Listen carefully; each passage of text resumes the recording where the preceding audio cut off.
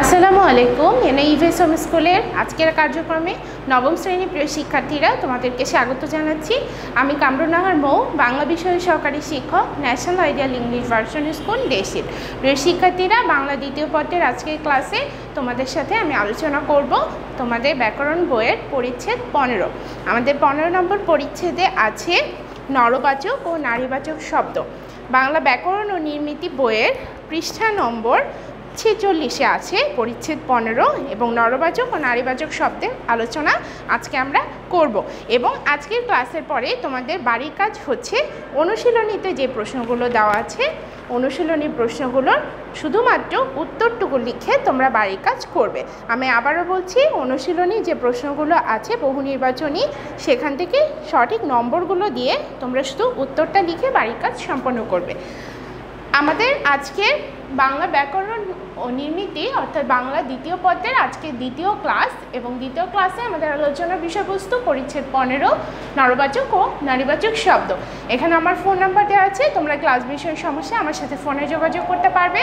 বাড়ির কাজের বিষয়টি ইতিমধ্যে তো বলেছি, অনুশীলনী, যে বহুনির্বাচনী প্রশ্ন আছে সেগুলোর শুধু উত্তর লিখে বাড়ির কাজ করবে শিক্ষার্থীরা তোমরা দেখতে পাচ্ছ, পরিচ্ছেদ পনেরো, সংক্ষিপ্ত আলোচনা আমি এখানে উপস্থাপন করেছি। নরবাচক ও নারীবাচক শব্দের শুরুতে আমরা জানব যে এগুলো আসলে কি। বাংলা ভাষায় বহু বিশেষ শব্দ ও কিছু বিশেষণ শব্দ রয়েছে, যা নরবাচক অথবা নারীবাচক বলে ধরা হয়। আবার এমন কিছু বিশেষ বিশেষণ শব্দ রয়েছে, যা দিয়ে নর বা নারী উভয়কেই বোঝায়। বিশেষ্য ও বিশেষণের এই নর নারী ভেদের নাম লিঙ্গ। আমরা জানি পূর্বে আমরা লিঙ্গ পরিবর্তনও করেছি, তোমরা পূর্বের ক্লাসগুলোতে যেটি করে এসেছ। তো এই বিশেষ বিশেষণের এই নরনারী ভেদের নাম আসলে লিঙ্গ। ব্যাকরণে শব্দের নর বা নারীবাচকতাকে সংক্ষেপে পুং ও স্ত্রী দিয়ে প্রকাশ করা হয়ে থাকে। নরবাচক শব্দ পুংলিঙ্গ, যথা পিতা, পুত্র ইত্যাদি। নারীবাচক শব্দ স্ত্রীলিঙ্গ, যথা মাতা, কন্যা ইত্যাদি।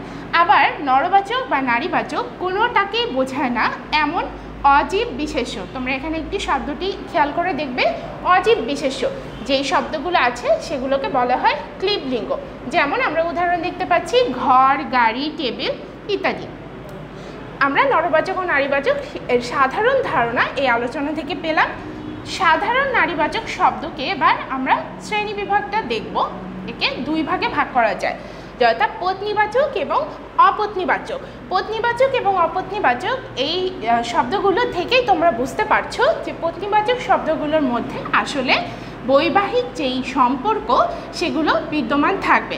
যেমন পিতা মাতা পিতা তার স্ত্রী অর্থে আমরা মাতা এই লিঙ্গ পরিবর্তনটি বা এই পরিবর্তনটি নর নারীবাচক শব্দে করে থাকি, যেটার মধ্যে এক ধরনের সম্পর্ক বিদ্যমান, যেমন দাদা, দাদি ইত্যাদি। এরপরে অপত্নীবাচক অর্থে অর্থাৎ যার মধ্যে এই সম্পর্কগুলো দেখা যাবে না, যেমন খোকা শব্দটির স্ত্রীলিঙ্গ হিসেবে আমরা খুকি লিখে থাকি, তেমনি ছাত্র এর স্ত্রীলিঙ্গ হিসেবে ছাত্রী আমরা পরিবর্তন করি। কিন্তু এগুলোর মধ্যে পূর্বের ন্যায় কোনো ধরনের সম্পর্ক বিদ্যমান নয়। তাই আমরা সাধারণ নারীবাচক শব্দকে এই পত্নীবাচক এবং অপত্নীবাচক এই দুই ধরনের শ্রেণি বিভাগে ভাগ করতে পারি। এরপরে তোমরা দেখতে পাচ্ছ কিছু শব্দ আছে নিত্য নরবাচক এবং নিত্য নারীবাচক। শব্দগুলো নিত্য নরবাচকে আমরা উদাহরণ হিসেবে দেখছি, কৃতদার এবং অকৃতদার। আর নিত্য নারীবাচক শব্দ হচ্ছে সতী, বিধবা। এগুলোর পুরুষলিঙ্গ এবং এই নিত্য নরবাচক শব্দের স্ত্রীলিঙ্গ, এগুলো বাংলা শব্দ ভাণ্ডারে বিদ্যমান নেই। যে কারণে আমরা একে নিত্য নরবাচক শব্দ এবং নিত্য নারীবাচক শব্দ হিসেবে উল্লেখ করছি। নরবাচক শব্দ থেকে নারীবাচক শব্দ গঠন। বেশ কিছু নিয়মে নরবাচক থেকে নারীবাচক শব্দে রূপান্তর করা হয়ে থাকে। তো সেই নিয়মগুলোর মধ্যে প্রথমে আছে প্রত্যয় যোগে। তারপরে আছে নারী বা নর নির্দেশক শব্দযোগে এবং শেষে আছে স্বতন্ত্র শব্দ। আমরা এই প্রত্যেকটি, এই নিয়ম সংক্ষেপে এখানে আলোচনা করব। তো প্রথমে আমরা নরবাচক শব্দ থেকে নারীবাচক শব্দের গঠন যেভাবে হয়, সেখানে প্রথমে দেখতে পাচ্ছি প্রত্যয় যোগে। আমরা এখানে বেশ কিছু উদাহরণ তোমাদের বইতে দেওয়া আছে, সেখান থেকে কিছু উদাহরণ এখানে উল্লেখ করছি। প্রথমে যেটি আছে আপ্রত্যয় যোগে, যেমন বৃদ্ধ, এই নরবাচক শব্দটি নারীবাচক করার ক্ষেত্রে আপ্রত্যয় যোগ হচ্ছে হচ্ছে বৃদ্ধা এবং প্রিয় শব্দটি হয়ে যাচ্ছে প্রিয়া। শিক্ষার্থীরা, তারপরে আছে ই প্রত্যয় যোগে। নর, নারী। যেমন নর শব্দটি স্ত্রীলিঙ্গের ক্ষেত্রে আমরা ব্যবহার করছি নারী। এখানে শেষে যুক্ত হচ্ছে ই প্রত্যয়। তারপরে আছে মতি প্রত্যয়। যেমন বুদ্ধিমান, বুদ্ধিমতী। তোমরা তোমাদের বইতে এরকম আরও অসংখ্য প্রত্যয়যোগের শব্দের উদাহরণ পাবে। এখানে একটি গুরুত্বপূর্ণ বিষয় উল্লেখ করা আছে, সেটি হচ্ছে অপ্রত্যয় দিয়ে গঠিত নরবাচক শব্দকে নারীবাচক করার সময় অকের জায়গায় ইকা হয়। আমরা এতক্ষণ যে প্রত্যয় দিয়ে শব্দ গঠনগুলো জানলাম, এই যেমন আপ্রত্যয় প্রত্যয় ই প্রত্যয় মতি প্রত্যয় ঠিক তেমনি অপ্রত্যয় দিয়ে যখন নরবাচক শব্দ থেকে নারীবাচকে রূপান্তর করা হয়, তখন অপ্রত্যয়টা ইকা হয়ে যায়। আমরা উদাহরণগুলো দেখলে সহজে বুঝতে পারব যেমন, পাঠক, শেষে আছে অপ্রত্যয়, এটিকে নারীবাচকে রূপান্তর করার সময় হয়ে যাচ্ছে পাঠিকা, অর্থাৎ অপ্রত্যয়টি হয়ে যাচ্ছে ইকা প্রত্যয় ঠিক যেমনই আমরা এই সংজ্ঞাটির মধ্যে দেখেছি। তেমনি আরেকটি উদাহরণ হচ্ছে লেখক, লেখিকা। তারপরে আরও যেভাবে নরবাচক থেকে নারীবাচক শব্দ রূপান্তর হয়, সেটি হচ্ছে নর বা নারী নির্দেশক শব্দযোগে কোনো কোনো সময় নর নির্দেশক শব্দ যোগ হয় শব্দের আগে বা পরে এবং কখনো কখনো নারী নির্দেশক শব্দ যোগ হয়। যেমন, নর নির্দেশকের উদাহরণ হচ্ছে ভাইপো। এর স্ত্রীলিঙ্গের রূপান্তরের ক্ষেত্রে আমরা ভাই ঝি।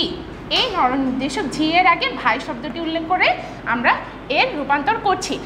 আরেক তেমনই নারী নির্দেশক শব্দ যোগেও হয়, যেমন লোক স্ত্রীলোক লোক। শব্দটির আগে স্ত্রী, এই নারী নির্দেশক শব্দটি যুক্ত করে আমরা লোক থেকে স্ত্রীলোকের নারী বা স্ত্রীলিঙ্গে আমরা এটিকে পরিবর্তন করছি। এরপরে যেটি আছে, সেটি হচ্ছে স্বতন্ত্র শব্দে। বিষয়টি আমরা এই সংখ্যা এবং উদাহরণগুলো দেখলে পরিষ্কার হব। কিছু নারীবাচক শব্দের সঙ্গে নরবাচক শব্দের গঠনগত মিল থাকে না। আমরা এর আগে যতগুলো শব্দ দেখেছি, তার মধ্যে কিছু কিছু শব্দের ক্ষেত্রে গঠনগত মিল থাকে। কিন্তু আমরা এখন যে উদাহরণগুলো দেখব, যেমন ভাই, এর রূপান্তরে হচ্ছে বোন, এই দুইটি শব্দের মধ্যে গঠনগত কোনো ধরনের মিলে আমরা দেখতে পাচ্ছি না। ঠিক তেমনি পিতা, মাতা, বর কোণে ইত্যাদি, এগুলোর মধ্যে গঠনগত কোনো ধরনের মিল নেই। বাংলা ভাষায় প্রাতিষ্ঠানিক পদমর্যাদাকে নারীবাচক করা হয় না।